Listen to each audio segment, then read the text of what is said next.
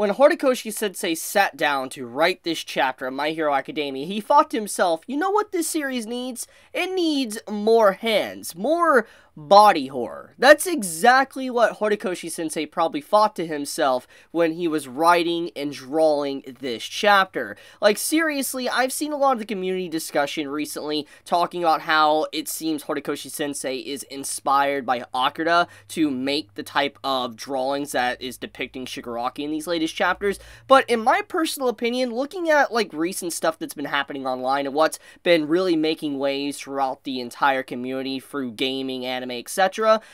Elden Ring. Everybody's probably heard the title Elden Ring mentioned at least once or twice in the past few weeks, and when I look at Shigaraki's situation, it reminds me a lot of Godrick the Grafted. Like, there is same energy level being channeled through Shigaraki and Godrick, and it's just like, yeah, I I do wonder. I, I really do wonder if Horikoshi Sensei is a fan of a Souls game or something, because it's like, we don't really know, but when I just, I look at Shigaraki's design, it really does look something straight out of like a Berserk, you know, manga panel or something out of, let's say, a Souls game. That's just what vibes I get from Shigaraki.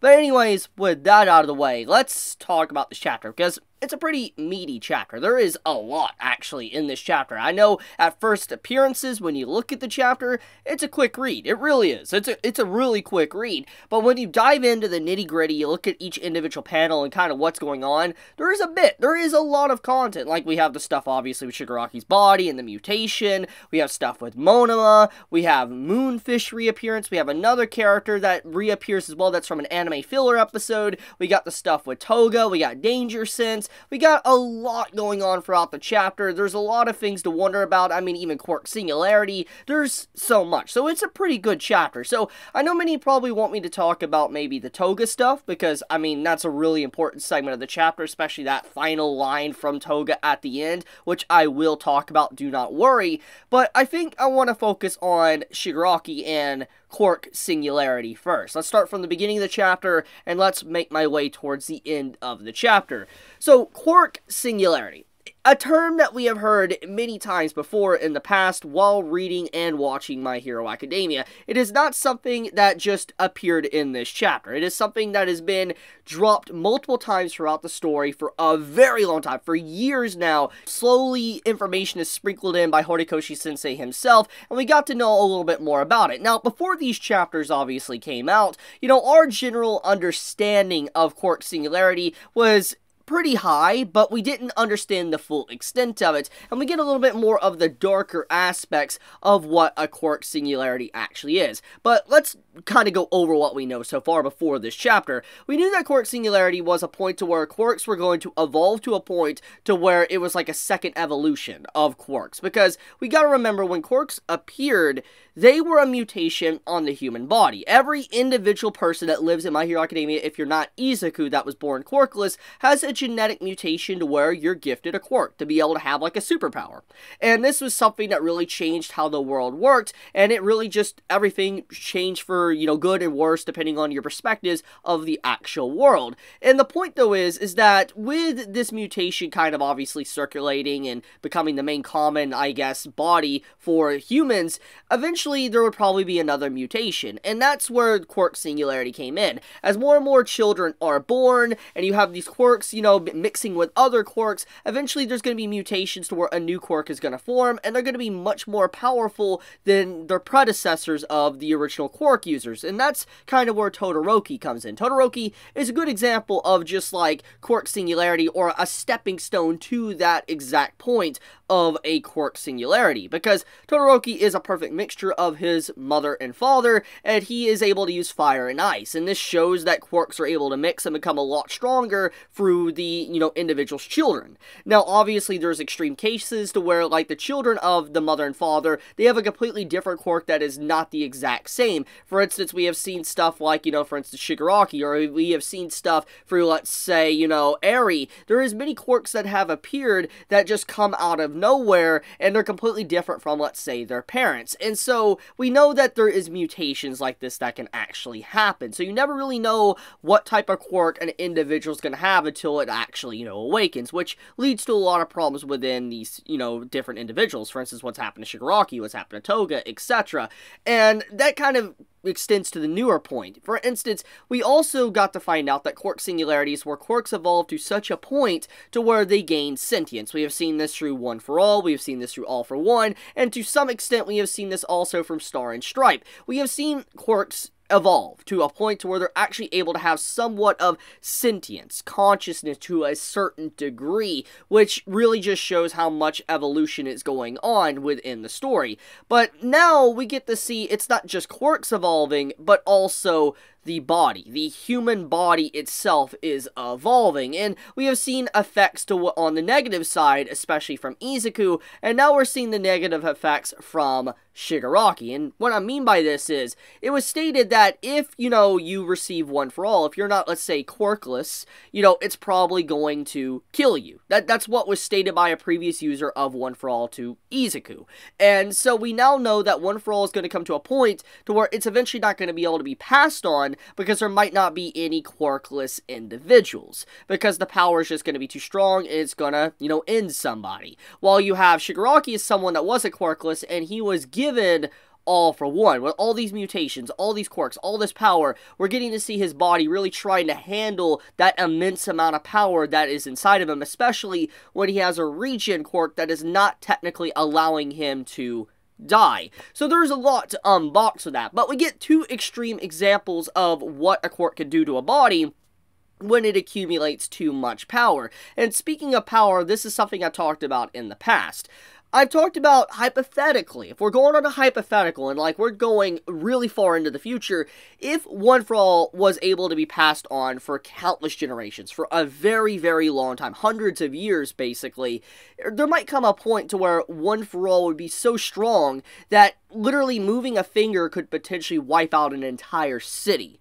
That's what I've talked about because of how One for All is, how it stocks up, you know, power, stockpiles. And that's kind of what is with One for All, how strong it can be and how dangerous it can be in the future, and why, you know, each individual user just gets stronger, why Izuku is able to be stronger than All Might. So that that's something else to consider, that quirks are just getting so astronomically strong that eventually they can become potential planet busters. That's how ridiculous it potentially could be. But let's ground it back down to reality for a second, and let's talk about Shigaraki and what's going on with his body. So we see Monoma try to erase, you know, uh, what Shigaraki's going on with the growths to, you know, decay, etc. We see Monoma trying to do stuff, but obviously it isn't successful. Shigaraki's hands are growing at an exponential rate, and they're not being stopped whatsoever. And what this pretty much is, is that Shigaraki's body is evolving. It's mutating to a point to where it's not even a quirk anymore, it's something else entirely. And you could kind of say that this is the next step for quirk evolution. For instance, quirk singularity.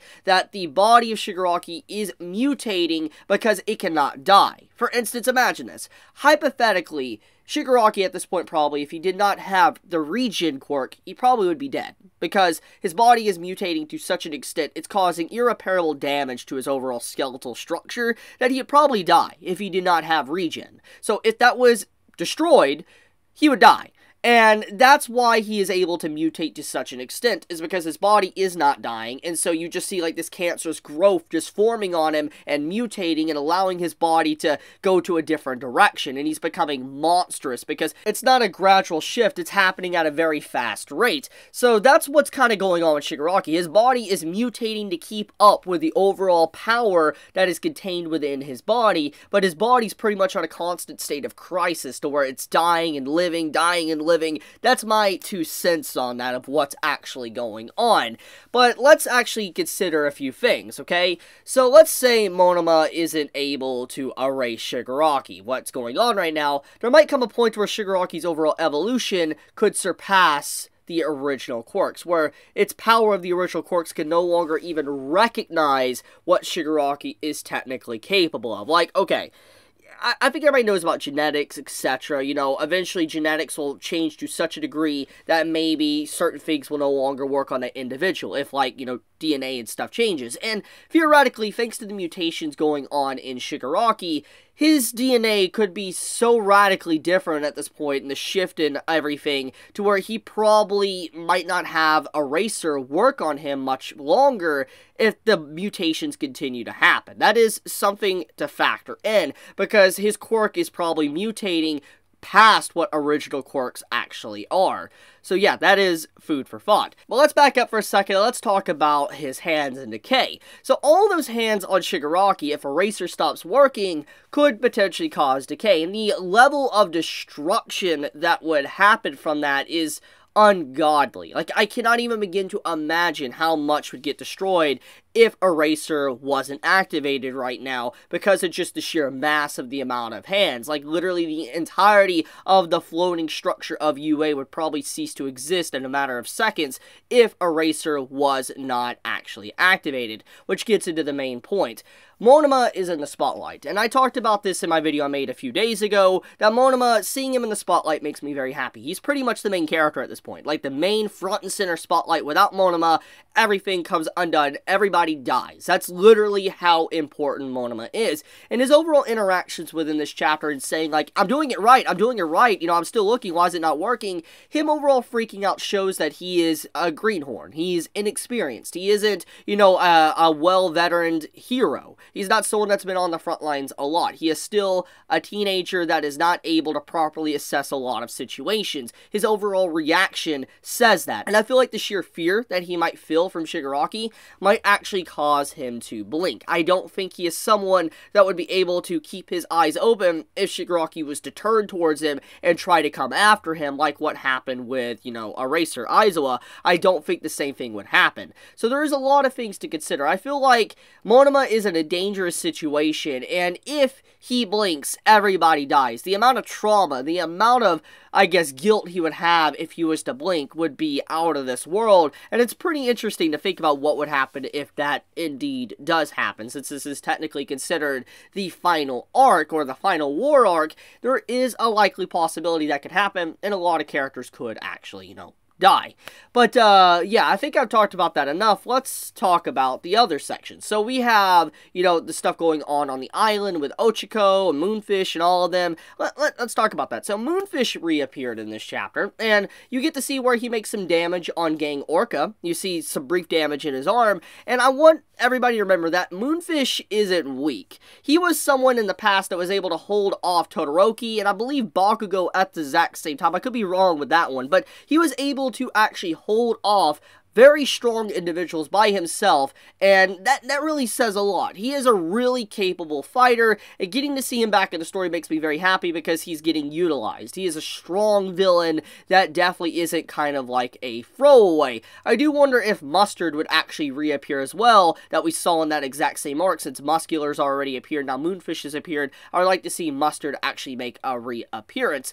And speaking of appearances or reappearances, we have a filler character from the anime make an official canon appearance in the manga. So what this pretty much lets me know, and I think many of us readers, that Horikoshi is saying that the anime filler episodes on My Hero Academia are indeed canon. That That's exactly what I got from that. So that is some food for thought. So interesting that we got to see the Sailor Girl actually make an appearance in this chapter and fighting on the front lines. Now, speaking of fighting, let's talk about Ochako.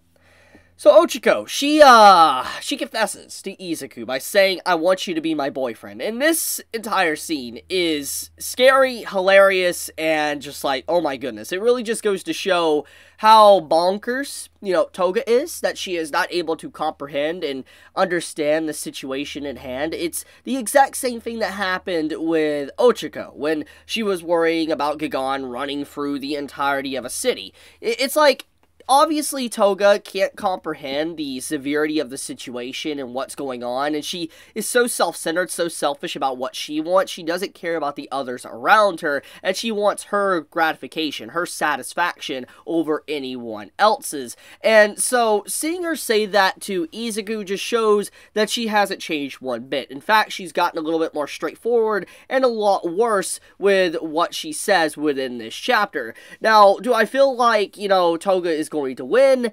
No, I feel like theoretically Izuku should be able to quickly just demolish Toga in an instant. I mean, we know All for One or One for All are completely different levels of quirks, and One for All, which is Izuku's quirk, is insanely broken. He is able to go in and just wipe people out. He's stronger than All Might pretty much right now. So he should be able to handle Toga with relative ease, even if Sadman Parade was to make an appearance, which we know will make an appearance since Toga has, you know, twice his blood.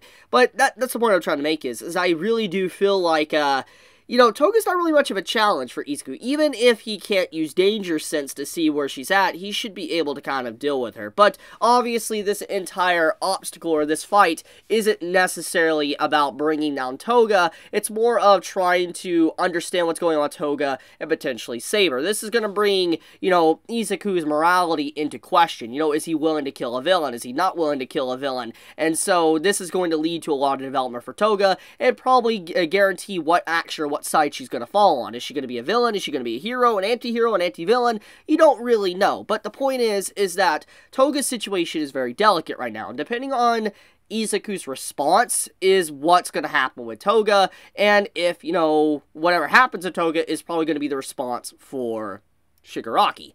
So that is something interesting, but Danger Sense though not working, I guess it makes sense. I guess it lets us know that it's about empathy and it's about intent. Like for instance, if you have ill intent, you know, Danger Sense will activate, but if you don't, then it will not activate. Quite a, you know, it's a useful quirk, but it's not useful if someone's kind of psychotic. That That's definitely something we got from this chapter of My Hero Academia.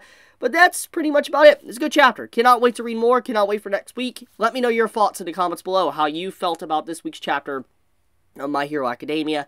Be honest in the comments below. I am very curious. And what was your favorite part? Was your favorite panel? You know, let me know. But if you enjoy my content, you know, please subscribe. Please leave a like. It does help me out a lot. But with that, guys, be safe, stay healthy. Chibi out.